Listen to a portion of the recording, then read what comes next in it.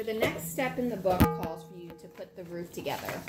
While everything else is drying, we went ahead and got the long piece with the little angle at the back and then the two pieces here. This says eave on it and then this should have, you should have written rear roof, okay? And then this is the front roof. They're showing you they want you to apply tape to it before you glue it or while you're gluing it. So we're gonna line it up and add some tape.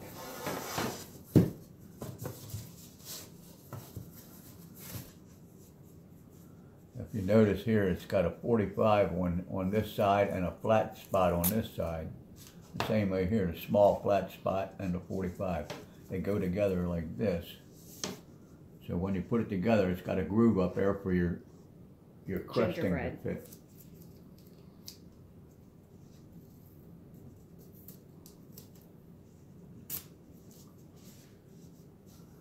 Now we're taping it before we're gluing it, just so you know. Just makes it a little bit easier.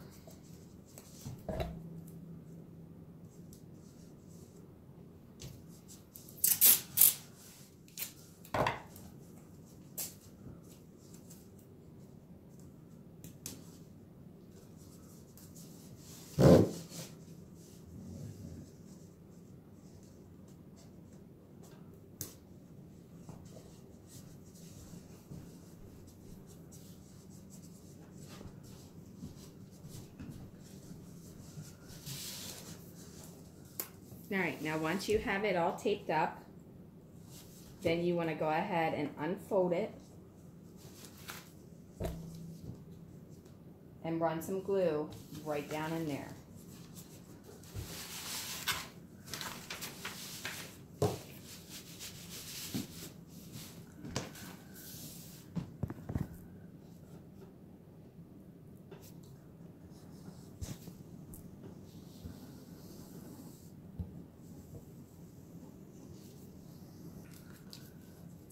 Okay, now you want to fold it back over like you would close a book. Make sure it's even again.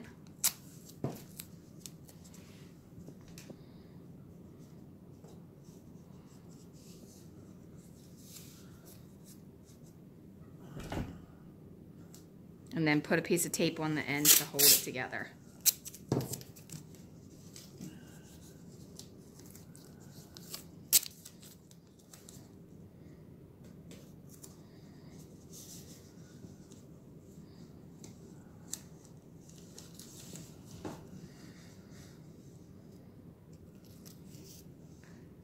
Rub off any excess glue that you have and let that dry. Once that's dry, then we can move on to putting these side pieces down on there because then the tape won't be in the way.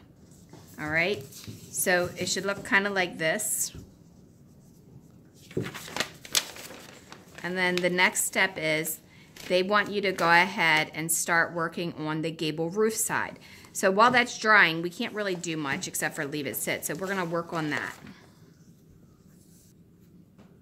This is the gable roof.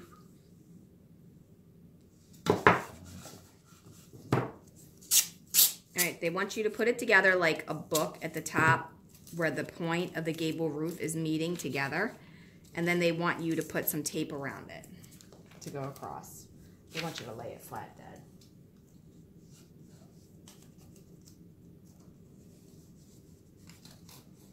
All right, they have you laying it flat. We're doing it standing up.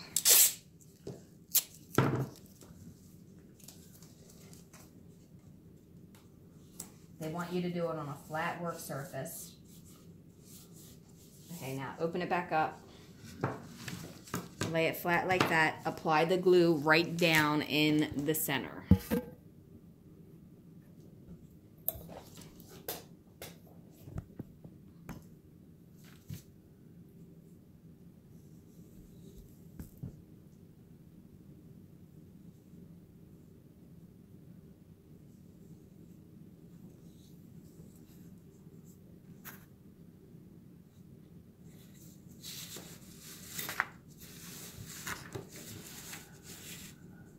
You may want to prime this first with one strip of glue, let it kind of set up a little bit, then go over it again. Because if you do that, then um, it'll actually stick better because the glue won't wear off. Or not wear off, but absorb into the wood as much.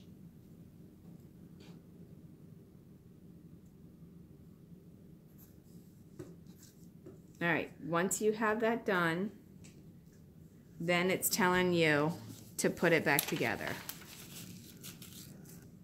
Okay, so they want you to test fit the gable roof front and then add glue and attach it.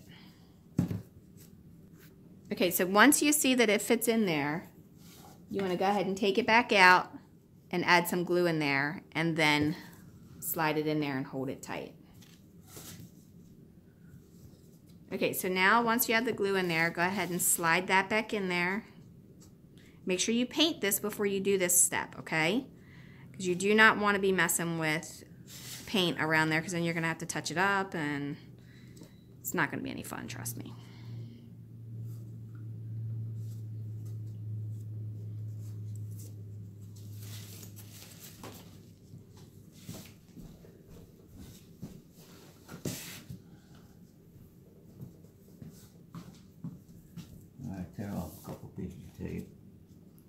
So now we'll tape it.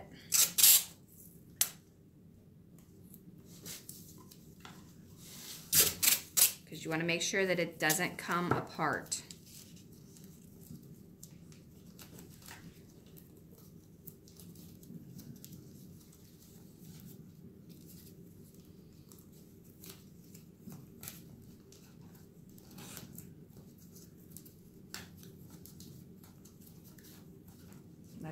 so well.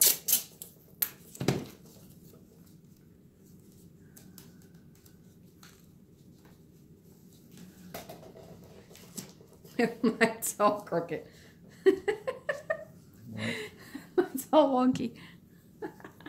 okay, so once you have it taped, it should look something like this. okay. Um, a note you may want to do, and I didn't think about it prior to this, um, is to paint the inside of this eave. So I'm going to have to just go back and do that um, very delicately with some white and make sure I don't get it in on here. See that? Um, actually, no, you don't. You won't see that because you know what? I'm looking at the gingerbread, and the gingerbread actually goes on the front like this, so you won't actually see that. So don't worry about that. Um, all right, so that's what that should look like, and that's half of the roof. You want to make sure this part stays together. It's all nice and smooth and even back here. That way when you go to do the rest of it, it's all going to be matched up. All right, set it on the side and let that dry. Okay, so we're going to skip ahead a little bit while their stuff is drying. And they want you to take and work on the windows. That's these long pieces here and then the short pieces here. Now, they want you to tape it at the corners and test fit it and all of that. Now, I come up with a way when we were doing the windows with the Beacon Hill that seems to be a little bit easier for me.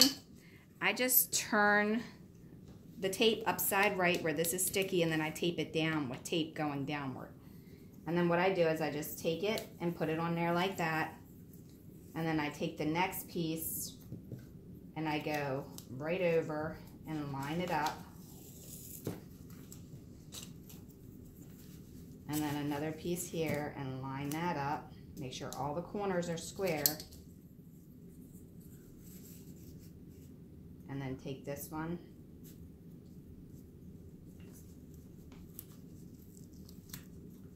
It's kind of hard to get off of there, but you'll see. until you have it just right.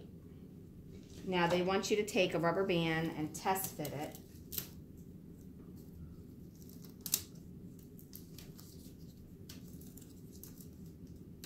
Getting it back off the tape is going to be kind of hard, but it should be square doing it just like that.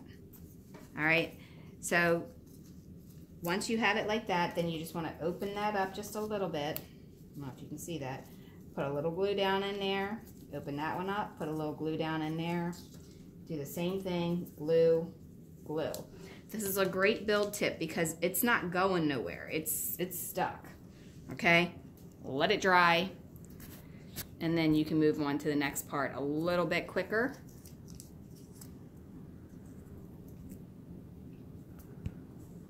I'll give you a close-up real quick of what I was just showing you. Open it, add the glue. Open it, add the glue. And then it's right there. And if you hold your square up to it, it should be square.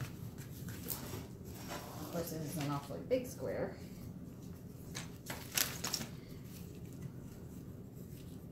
But yes, it is square. Alright, so we're going to glue these together, work on that, and then we'll go ahead, if the other stuff isn't dry, we'll go ahead and start assembling the shutters. Okay, so an easy way to get the glue in there is to take some toothpaste, my toothpaste, listen to me, take some toothpick and some glue and just put a tiny bit on there, okay, and when you spread it open, I'm trying to get to where you can actually see it, um, just kind of slide that down in there and then push it back shut, and then there you have, your glue will be in there. Okay, so when you get to the end of putting all these together, you're gonna have a bunch of little pieces left over. That's for this roof here, or not roof, but this window here. So you wanna go ahead and glue them together, and this way is a lot easier. Um, here's dad's way, and sort of the way that they're telling you to do it in the book. I did like two windows to that. So I like the way that I do it. You do it the way that's easiest for you. And don't forget to put the rubber band around it because what that does is it keeps the seams from separating while it's drying. Okay, so my window is done and dad is still messing with that window when I've done all of these but two. so you pick the way that works best for you. Personally, I think having the sticky side of the tape up and doing it this way and just checking it with the square as you go um, seems to be the quickest. Um, the way that he's doing it, um, yeah, I'm not so sure about that as far as easiness. But um, if that makes it work for you, then great. All right, like and subscribe. Click that bell to be notified, and I'll see you in the next video. We're going to be finishing the gable roof and um, doing the shutters, the railing, the porch, and all the gingerbread, and that will be pretty much most of this house besides the petitions in the interior. All right, again, thanks a lot. Have a wonderful, wonderful day. And um, as you can see, Dad's still fooling with that window. Poor guy. He may be here for a while.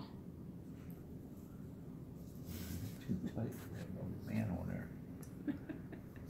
Hit that bell. I'll talk to you later.